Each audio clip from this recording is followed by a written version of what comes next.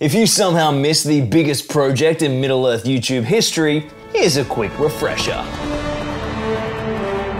In 2019, the world gets shut down, and to keep my local community connected, I launched a massive isolation crafting project to build a true scale Minas Tirith gaming board. After releasing some guides and templates right here on Zorpazorp, people from all over the world jumped on board, sending in walls, towers, orcs, soldiers of Gondor, siege towers, and suddenly, as we furiously laid the tracks before the moving train, a whole bunch of my fellow YouTubers got roped on board to help build the first 100% complete suburb of Minas Tirith, aptly named Tubertown. This journey began over 18 months ago, and now today, at long last, the big reveal is here. But first, it's time to light the beacons of Zorpazorp.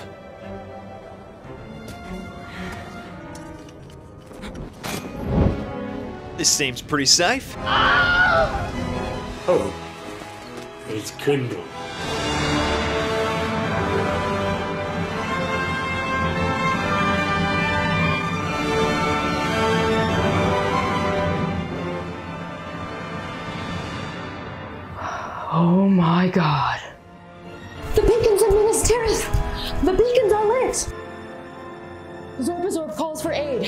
And YouTube will answer.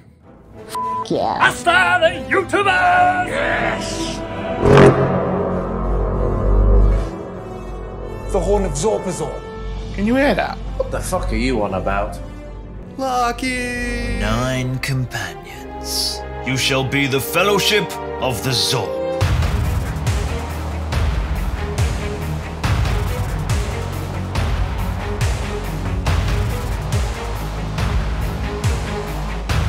Could have rung a taxi.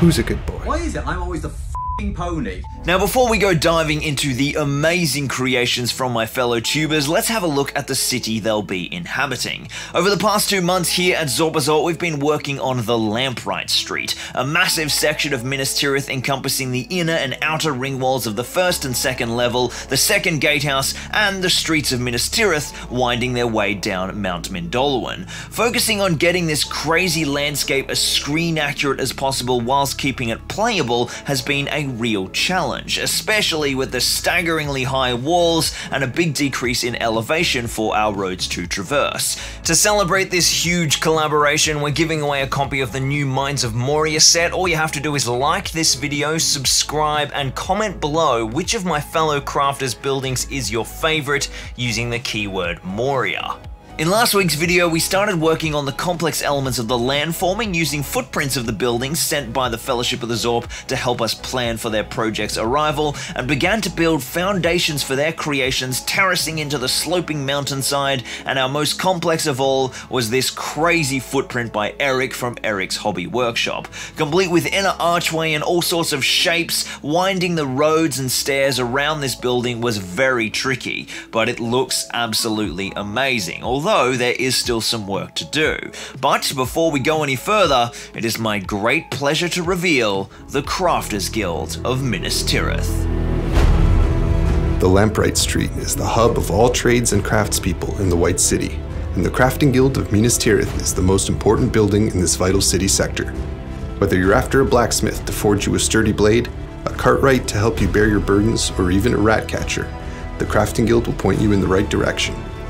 With a large central hall for gatherings of skilled tradespeople and offices for the various heads of different disciplines, this regal building is a place of learning, community, and industry.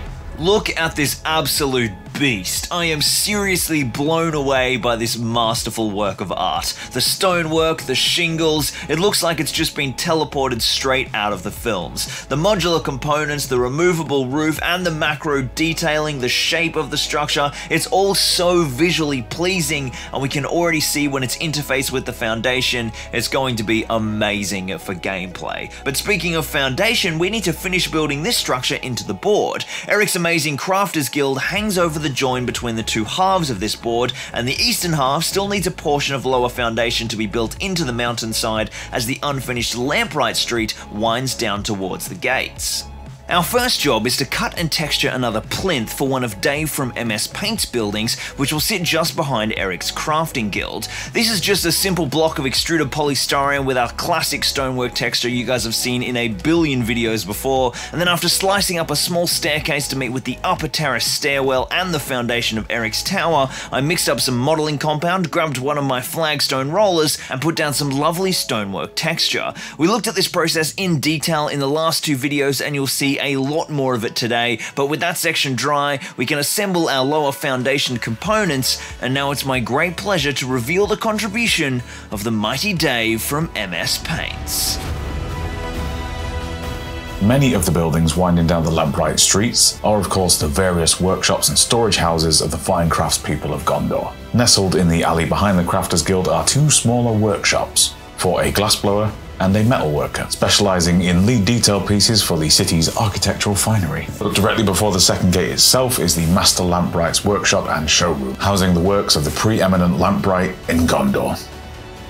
Dave's three buildings are absolutely choice, bringing in some vital greenery with vines and creepers, as well as giving us some new takes on the classic Gondorian forms with some variety in building size. These smaller footprints are fantastic for gameplay, creating little alleyways and streets. Speaking of streets, it's time to finally deal with the Lampwright Street itself. This was so damn difficult to contour, so sit back and enjoy some sexy time lapses, folks. I used a combination of foam and coreboard, all cut at different angles to get a lovely gradient that bent around the corner and wasn't too steep for models, and I had to make sure that would tessellate with all the little alleys branching off. Then it was time for a heap of flagstone work with modelling compound and a textured roller. Working in smaller sections and relayering portions that didn't take really helped me build a super realistic finish. To finish off the top of the board, I carved a neat little stairwell to go down next to Dave's bigger building and continued the alleyway with more cobble and edging, blending it in with the upper terrace we made just before Christmas. If you're new around here and you're into crazy scenery builds in Middle Earth 40k and beyond, make sure you smash that subscribe button down below because mental massive scenery is my jam here on Zorpazorp. And if you think this build is crazy, you should see what's coming in 2022. With those pieces down, we are really starting to capture those Gandalf riding through Minas Tirith vibes with the Lampwright Street really coming to life. But we're looking a little sparse on one side of the street, so it's time to reveal our next epic member of the Fellowship of the Zorp. Before the gates on Lampwright Street sits the largest apothecary supply merchant. The main thoroughfare passing through the lower level brings the apothecarian a steady supply of deliveries from the vales in the south, rich in herbs and healing remedies. In times of sickness or plague, a constant stream of couriers on foot and horse are seen passing to and from the apothecary and merchant to both the lands beyond and the houses of healing higher up in the city. I absolutely love Raquel from Rackrex Arts building. It has so much character and wicked details, the stained glass, the roof tiles, and I'm really loving seeing all these similar but not identical color schemes coming together. We're really assembling a very realistic tapestry of Gondorian slate and stonework. Remember guys that all the in-depth build videos for these amazing creations are linked down below in the playlist in the description and the pinned comment. Please show these guys some love and just throw that playlist on repeat all week long. I owe these incredible crafters so much for their work, and we need to send them some Zorp love. So as you can see, the plinth beneath Raquel's building needed some more stonework texture, which I matched from the adjacent retaining wall, and then we had a few special details on the upper terrace to complete. I grabbed the battlement template that Albert Fraval from Microforge Minis had laser cut for me, and used that to smash out some extra crenellations, first to finish off the last stretch of outer ring wall, and then for that small wall section above the lower courtyard. Then using the exact same methods we looked at nearly two years ago now, I smashed out the top portion of the bastion, ready for a trebuchet to deploy, and we've now found ourselves the perfect spot on the upper terrace for our next epic building by Benji from Benji's Hobbies. Rather than the beast of burden or noble steed seen passing through the city gates and across the Pelennor, Baruthial Pet Supplies breeds, sells, and houses animals for highly specialised roles in city life. As well as companionship to the city's many citizens, the menagerie is especially well known for its limited carrier pigeon network maintained within the city, which is much faster for messages travelling from the citadel to the lower levels, as well as breeding amiable felines who make short work of the many rodents nesting within the city. Now this portion of Minas Tirith features a rocky promontory that begins to thrust out from the base of Mount Mindolluin, and the stonemasons of Gondor incorporated those rocky foundations and worked them into the city. But before we start building our mountainside, we need to reveal one of the oldest buildings of this city district, the lovely Minas Tirith Barber by Andy from Beard Clipper. During the early years of Minas Tirith's history, this building was a key financial institution nestled into Mount Mindolluin beside the Second Gate but over the years passed from the Bank of Barahir to the Commercial Guild, and then left the finance sector altogether to become the Beard Clippers Barber, the regular hairdresser for the soldiery manning the outer walls and the working class citizenry conducting business within the crafting districts. After lopping off the front pavement to nestle it into the upper courtyard, it was time to build the Beard Clippers Barber into the cliff. So I grabbed some sheets of expanded polystyrene and bulked out the back, joining it all together with foam adhesive and clamping and weighting it down to prevent expansion. Notice I'm only joining these pieces and the rock work to come to the building, not to the board, to keep this entire piece removable. I then marked out what parts of the wall behind it would need texture and applied our classic stonework treatment, although I ended up just doing the whole face of that wall so that I can use this piece in different layouts. I then removed the amazing Pelennor Gardens Tomatoes billboard to be reused where it will be more visible, and now it's time for rock work. If you're keen on seeing this process in detail, check out my Dol Guldur build where I tackle this monstrous cliff face, but essentially using a selection of plaster cast rock pieces, I planned out and then tacked together a cliff face using PVA and hot glue to hold it in place, and then used yet more modeling compound to join the pieces together, creating a seamless rocky surface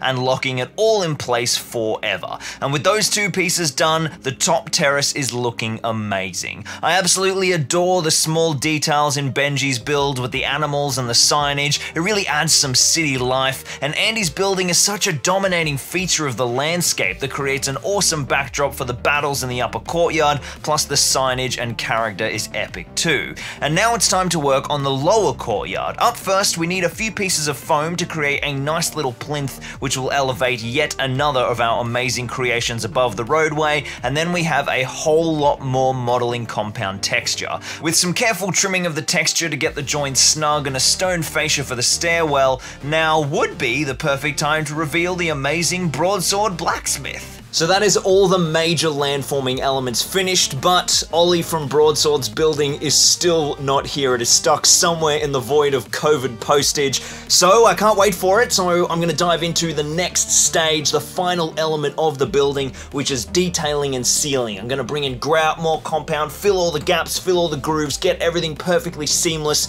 and ready for priming, and hopefully I get a knock on the door from the postman very shortly. Alrighty-o, the home stretch, ladies and and gentlemen. A few detail pieces left to go, little accents and battlements, a doorway here and there, and then it's time to make everything into one sexy, continuous surface and get rid of all of these gaps. These were filled with a seam of Geek Gaming high strength PVA, and then I sprinkled tile grout over the whole surface and used a toothbrush to push the powder around, making a nice blended edge. Grout is an amazing material to work with because it's super fine grain, so it looks realistic at this scale, and it's also an adhesive that activates with water, which will lock down the edges of all these compound sections for extra strength. Once I had grouted every nook and cranny, it was time to seal all of the grout and modeling compound components. I am a little nervous right now because the roads are pretty brittle in this thin layer, so I absolutely soaked them. First with isopropyl alcohol and then a drenching in Geek Gaming Matte Scenic Sealant, which you can buy from my store zorpazorp.com. This sealant is a mix of PVA varnish varnish and water, so it activates the grout and the isopropyl alcohol creates a capillary action,